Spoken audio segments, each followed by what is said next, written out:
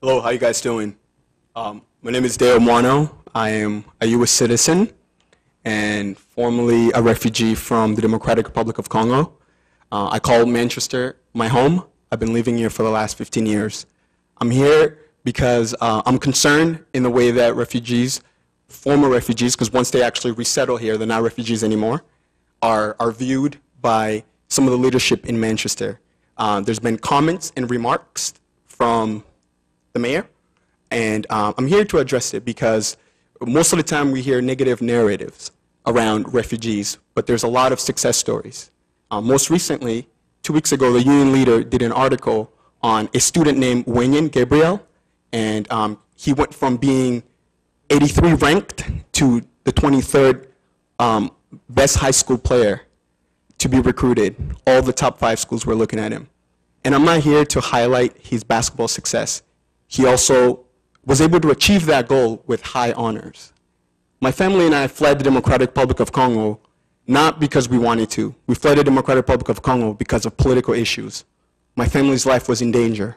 My father was assassinated. And a result of that, my mother, who was 26 years old with four children, four children, had nothing.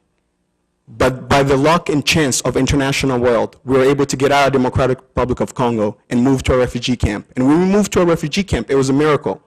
And we came to realize that in that refugee camp, there, there were refugees that had been living there for eight years, 10 years of their life.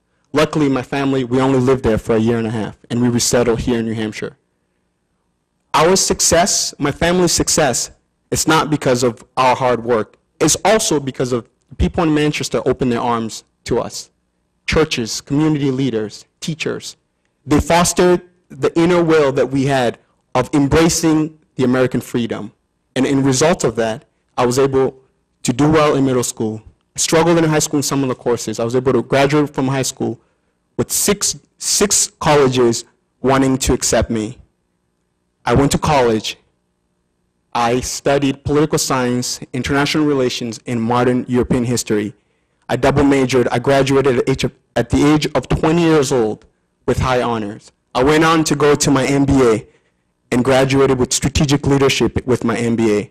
I'm not here to boast about my success. If you walk out of Manchester, you would hear plenty of stories that represents the success of refugees. 30 seconds. But for some reason, there's a misrepresentation of refugees here in Manchester. And I, I just want to say we need to continue to look at ways to support refugees because their stories can also transform the life that they have.